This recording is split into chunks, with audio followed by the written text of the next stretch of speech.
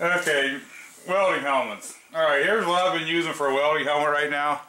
It's a Hobart. It's not a bad helmet.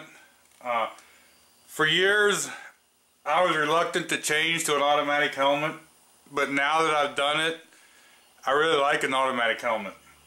I always used the ones that had the little lens. You could flip up the window there and see, you know, what you needed to see and flip it back down and weld. I used them for years. And the reason I used the little helmets, they make the full, the big lens helmets also, this manual. Alright, but for me, if I'm looking and I'm trying to weld, you had that big um, lens in there, I always get reflections and stuff like that. It would really mess me up. Like, it distract me, and I couldn't see well enough. And I gotta wear glasses.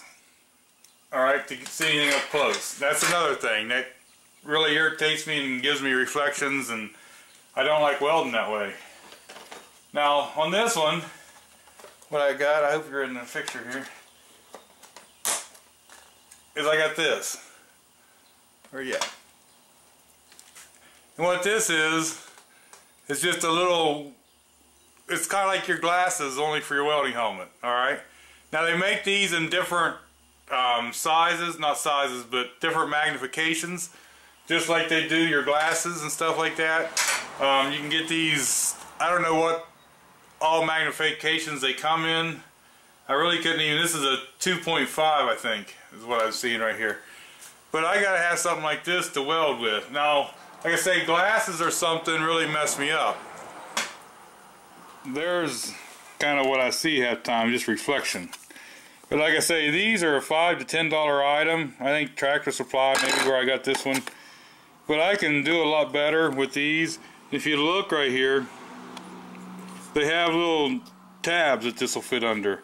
And what usually goes here is just a clear lens. That way, when you're welding and doing stuff, you can replace that clear lens and not scratch it. But with these magnifiers, I don't know if I can do this one-handed. I'm gonna have to bring you back, put this in.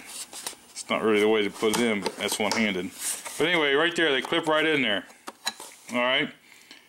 And that allows you to see, and that lens is close to your regular lens, so you don't get nearly the reflections that you would with glasses or something like that.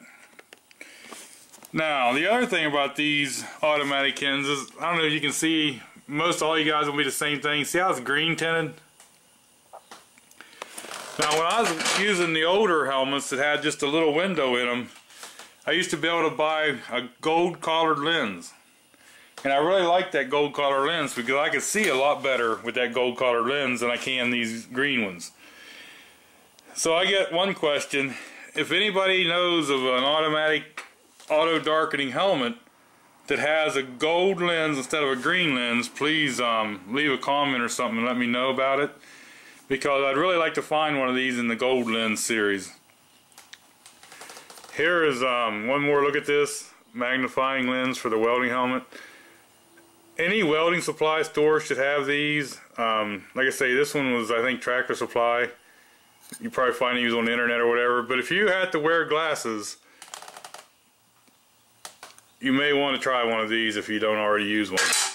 Oop, drop that one. Oh well.